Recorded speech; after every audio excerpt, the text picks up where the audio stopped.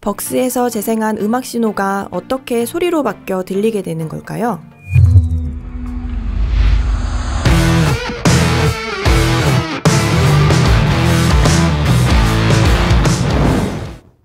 음악 신호가 소리로 바뀌는 이유는 소리가 진동의 형태이기 때문입니다. 주변의 물체를 손가락으로 두들겨 볼까요? 소리가 날 겁니다. 손가락으로 물체를 치면 물체가 순간적으로 진동을 하게 되고 이 진동이 공기를 통해서 우리 귀의 고막을 흔들기 때문에 소리로 느끼게 되는 거죠. 스피커에서 음악이 재생되는 원리도 이와 같지만 복잡한 악기와 목소리를 재생하기 위해서는 더욱 정교하게 움직여야 합니다.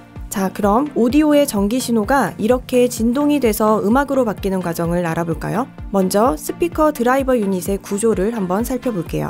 우리가 스피커에서 볼 수 있는 이 동그란 부분에서 음악이 나오는데 이걸 진동판이라고 부릅니다. 진동판 주위의 고무 또는 스펀지 재질 부분을 엣지, 진동판 뒤로 고정된 원통형 구조에 나선이 감긴 걸 voice coil, 그리고 이 voice coil 주변을 영구 자석이 감싸며 고정된 걸 통틀어서 driver unit이라고 부릅니다. 혹시 과학 시간에 자석은 같은 극끼리는 밀어내고 다른 극끼리는 당긴다는 걸 배운 기억이 나시나요? 이 voice coil에 교류의 전기로 된 음악 신호가 흐르게 되면 주변을 둘러싼 자석과 반응해서 앞뒤로 빠르게 움직이게 됩니다. 이 움직임이 진동판에 전달돼서 전기 신호가 소리가 되는 거죠.